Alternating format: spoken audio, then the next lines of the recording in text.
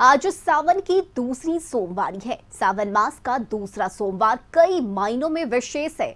आज के दिन चार शुभ संयोग बन रहे हैं। आज श्रावण अमावस्या है। इसे हरियाली अमावस्या के नाम से भी जाना जाता है। सोमवार होने के चलते यह सोमवती अमावस्या है। इसके अलावा रुद्राभिषेक के लिए शिववास भी है और आज पुनर्वसु नक्षत्र भी है। देवघर में दूसरे सोमवारी को लेकर बाबा नगरी में श्रद्धालुओं की भीड़ उमड़ी हुई है और पूरा मंदिर परिसर गेरुआ वस्त्रधारी कावड़ियों से पटा हुआ है। चारों ओर बोल बम के नारे गूंज रहे हैं। श्रद्धालुओं की भीड़ इतनी है कि रूट लाइन नंदन पहाड़ तक पहुँच गया है। वही सुलभ जल अर्पण को लेकर जिला प्रशासन भी लगा हुआ है। देर रात से ही ज़िले के उपायुक्त मंजुनाथ, भजंत्री एसपी सुभाष चंद्र जाट मंदिर परिसर रूट लाइन का निरीक्षण कर रहे हैं।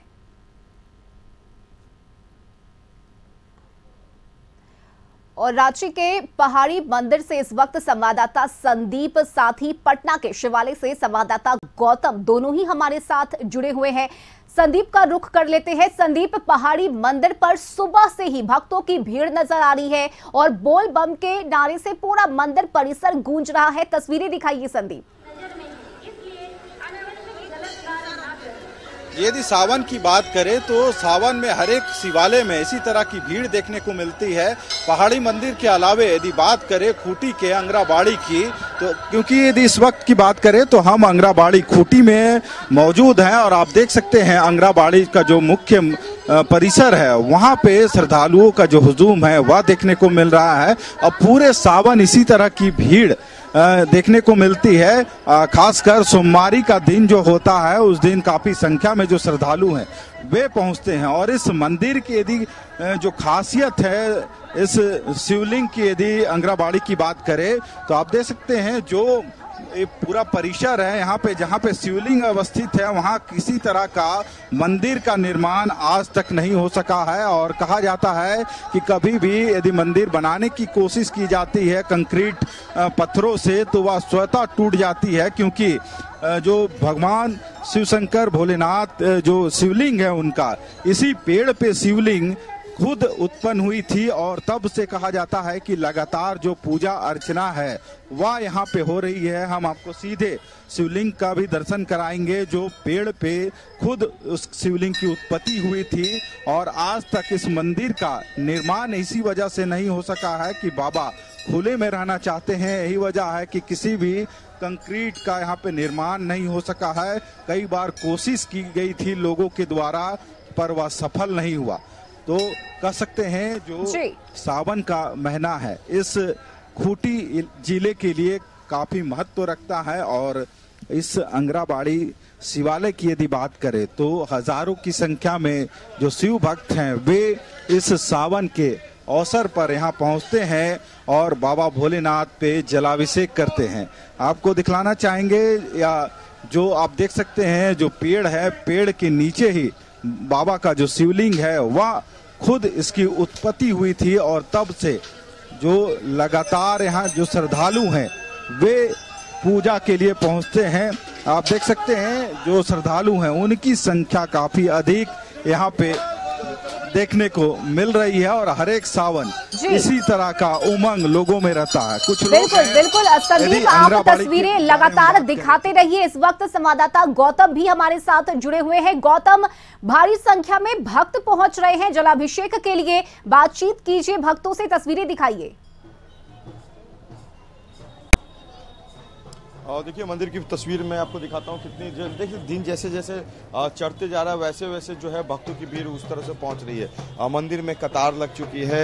सुबह से ही जो है ऐसे मंदिर में भीड़ थी, मगर जो आप कतार देख सकते हैं, तमाम भक्तों की जो भीड़ यहाँ पे लगी हुई है और इंतज़ार कर रहे हैं कि भगवान भोलेनाथ की पूजा करने के बाद जो है वो अपने दिन की शुरुआत किसी अन्य कार्यों से करेंगे। देखिए सुबह से ही लोग जो मंदिर में जो पहुँच रहे हैं उनकी अच्छी खासी भीड़ जो है और मंदिर की तरफ़ से भी जो है विशेष व्यवस्था करके रखी गई है, ताकि जो तमाम लोग आए उनके आ, पूजा करने में जो है जो भीड़ होगी उससे उन्हें कोई दिक्कत ना हो। तो तमाम लोग जो है पूजा करने के लिए पहुँच रहे हैं और जो कहा जा सकता है कि लोगों से कुछ हम ज़रूर बात कर लेते हैं कि सावन का ये जो सोमवार होता है ये खास पूजा का जो एक महत्व होता है उन तमाम पूजा को लेकर क्या कुछ सोच रखते हैं तमाम लोग? ये देखिए तमाम जो लोग हैं अपने घर से पूजा के लिए निकली हुई हैं और आज पहला दिन जो सोमवार का दूसरा जो सोमवार जो है, उसमें भगवान भोलेनाथ की जो पूजा होगी, उस पर जो है हम कुछ लोगों से राय ज़रूर ले लेंगे। मगर सभी लोग तमाम जो लोग हैं, वो पूजा में लीन है। भक्ति जो कही जा सकती है, उसमें जो कही जा सकती है, कोई कमी ना हो।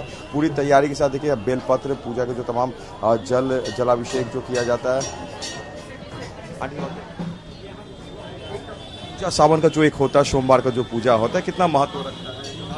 हाँ हाँ बहुत महत्व रखता है आज का सोमवारी का दिन। सब मनोकामना पूरा करते हैं भगवान इस बार का सावन कुछ खास है और ये सोमवारी कुछ खास मुहूर्त के साथ है। हाँ हाँ। आज हरियाली आज हरियाली थी है सोमवारी। जी ठीक। है पूरा प्रसाद के साथ जो तमाम जो लोग हैं अपने पूजा के जो कहा जाता है कि यहाँ पे पहुँच रही हैं और सभी के मन में एक इच्छा है कि भगवान भोलेनाथ उनकी आ, जो है आ, जो कही जा सकती है उनकी भक्ति को स्वीकार करे और जो कहा जाता है विशेष आशीर्वाद। देखिए तमाम जो लोग हैं ये लोग तो लगे हुए हैं। मंदिर के बाहर की भी तस्वीर देखिए मैं दिखाता हूँ। और जहाँ पे जलाभिषेक हो रहा है वहाँ पे देखिए अभी ज़्यादा लोग बात नहीं करेंगे रश्मि क्योंकि देखिए पूजा करना है। जी। चलो आप आपने तो पूरा भोले बाबा का पूरा यही ले लिया है। जी सर। सावन पूजा करने मतलब हम लोग तो स्टूडेंट हैं, यहाँ पे पूजा करने ही आए थे।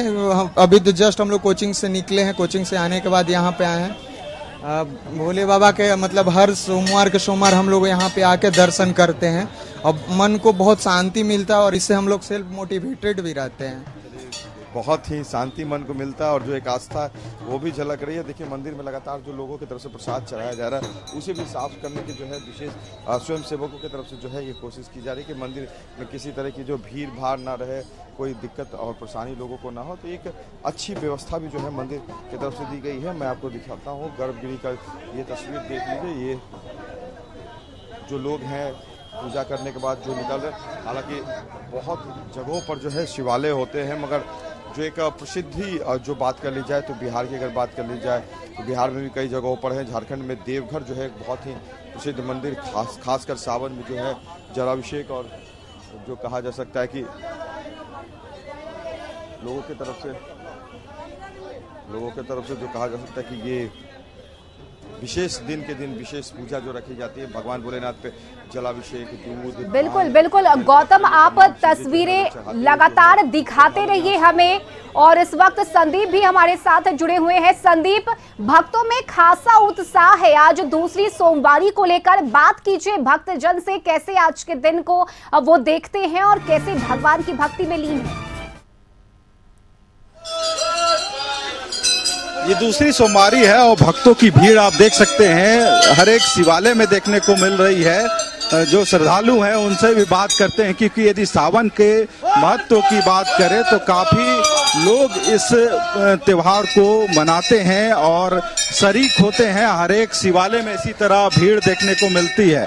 कुछ लोग हैं, उनसे बात करते हैं, सावन का महीना है, किस तरह से इस वक्त पूरी श्रद्धा से कर रहे हैं यदि अंगनाबाड़ी की बात करें तो काफ़ी इस इलाके के लिए काफ़ी फ़ेमस है सिर्फ़ छुट्टी नहीं बाहर से भी लोग यहाँ पे हाँ। हाँ हाँ किस तरह से पूरे सावन को आप लोग मनाते हैं? पूरे श्रद्धा से मनाते हैं और इस सावन में हम लोग पूरे फास्टिंग के साथ रहते हैं और इस बाबा से हम लोग मतलब मनोकामना करते हैं कि हमारी इच्छा पूरी हो जाए। कितने वर्षों से आप सावन का अभी मेरा फ़र्स्ट है।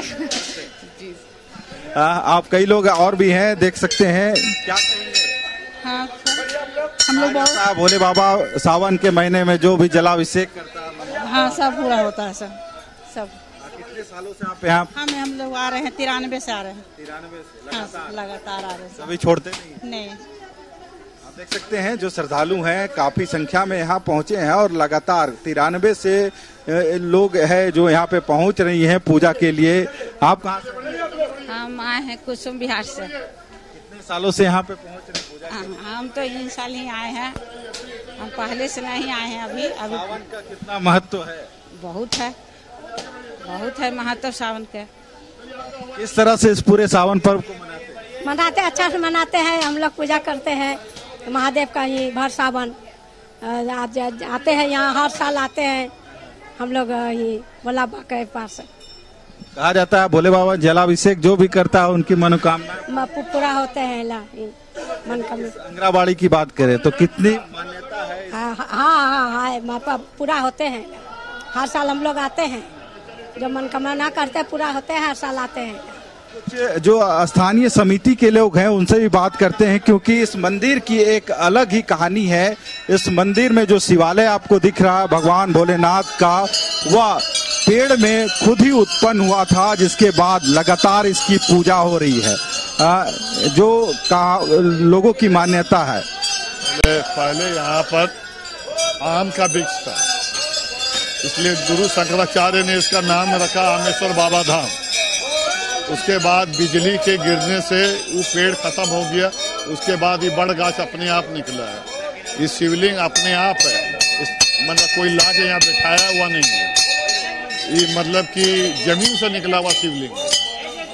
और ये हम मेरी जहाँ तक जानकारी है इसको सत्तर से अस्सी बरस हो चुका है इसको। हम यहाँ पर करीब करीब 1978 में हम यहाँ आए थे। मेरा नाम संतोष कुमार पोदार है। हम यहाँ के कोषाध्यक्ष हैं। तो यहाँ की भगवान की दया से यहाँ की मान्यता बहुत ज़ोर है। कहा जाता है जो शिवलिंग है शिवलिंग के ऊपर कोई भी छत नहीं नहीं बनता और कई कई बार लोगों के द्वारा कोशिश की गई है छत बना नहीं उसके बाद नहीं बना कभी भी। उसके बाद कभी भी कोशिश भी होने के बाद भी बनने नहीं दिया गया। माने बाबा खुले में रहना। रहना पसंद करते हैं। उसको कोई बंदिश नहीं पसंद है। बस अब आप देख रहे हैं इस शिवालय की यानी इस अमरेश्वर धाम की बात करें तो कहीं ना कहीं बाबा भोलेनाथ खुले में रहना पसंद करते हैं। ये वजह है कि इस शिवालय के ऊपर कभी भी कंक्रीट या छत नहीं बन पाया।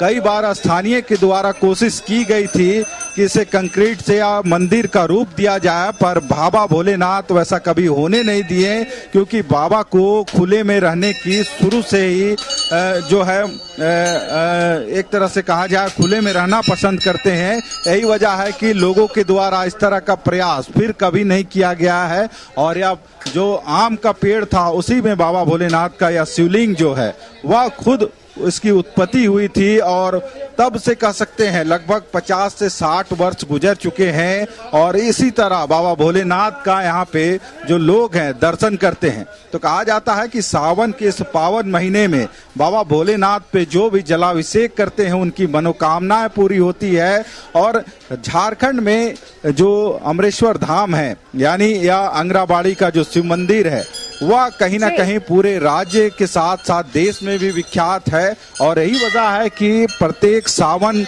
में इसकी जो महत्व है अधिक होती है इसके साथ साथ सावन के अलावे भी यदि बात की जाए तो उस दरमियान भी दूर दराज या अन्य राज्यों से जो लोग हैं श्रद्धालु है वे यहाँ बाबा के सामने माथा टेकने के लिए पहुँचते हैं क्योंकि बाबा भोलेनाथ की जो परम्पार महिमा है रहिए हमारे साथ उससे कोई भी वंचित नहीं इस वक्त हमारे साथ जुड़े हुए हैं। गौतम श्रद्धालुओं से बात कीजिए कितना उत्साह कितना उमंग।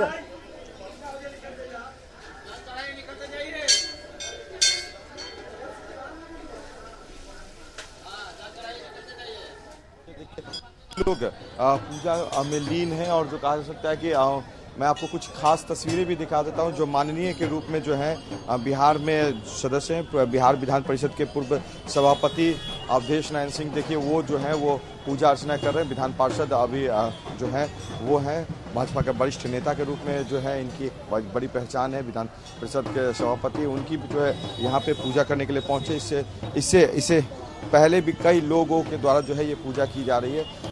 खास सावन का जो महीना होता है वो जो कहा जा सकता है कि विशेष इस दिन की पूजा करने के लिए चले। देखिए यहाँ पे अवधेश नारायण सिंह जी विधानसभा बिहार विधान परिषद के पूर्व सभापति और विधान पार्षद खुद पूजा करने के लिए पहुँचे हैं। मंदिर का पूरा प्रकार सावन का है और खास कर जो कहा जाता है कि इस दिन पूजा विशेष महत्व रखता है। क्या हम तो बराबर से आते रहते हैं इस मंदिर में। बि- बिल्कुल बिल्कुल। और... बहुत शुक्रिया। गौतम आपका तमाम तस्वीरें साझा करने के लिए साथ ही संदीप आपका भी बहुत शुक्रिया। भगवान शिव के दर्शन कराने के लिए। तो